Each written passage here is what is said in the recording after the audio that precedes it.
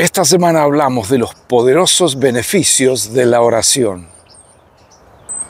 Ruego al Dios del cielo que refuerce la vida de oración de cada uno de mis amados guerreros en la fe. Primer beneficio, comunicación con Dios. La oración es una manera de comunicarse con Dios. Todos sabemos esto, pero a veces lo olvidamos. La oración te conecta, es el sistema diario de Dios para estar en comunión y en conexión contigo.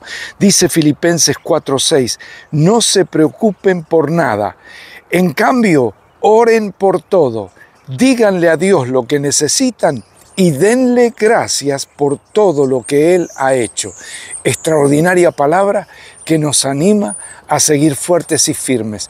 Tengo esto para ti, no te debilites, obrero de Dios, obrera del Señor, no te debilites en tu vida, en tu disciplina diaria de oración.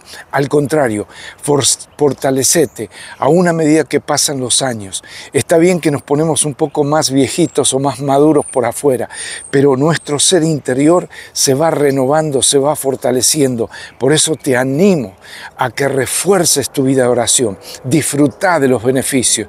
No te olvides, esto no es repetir algo de memoria nada más, no es hablarle a Dios, es hablar con Dios, escucharlo a Él también.